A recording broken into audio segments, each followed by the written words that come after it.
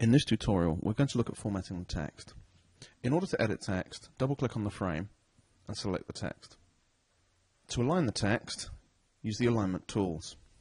You have left align, center, right align, justify with the last line to the left, justify with the last line centered, and fully justified. Fully justified extends each line so that it fills from the left to the right. It is also possible to vertically align the text within a frame, but in order to do this, you cannot be in the paragraph or text editing mode.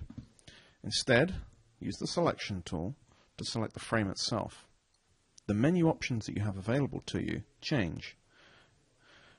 in this section, you have the ability to align top, align bottom, align center, or justify vertically. By default, the align top mode is selected. Align bottom, align center, and justify vertically.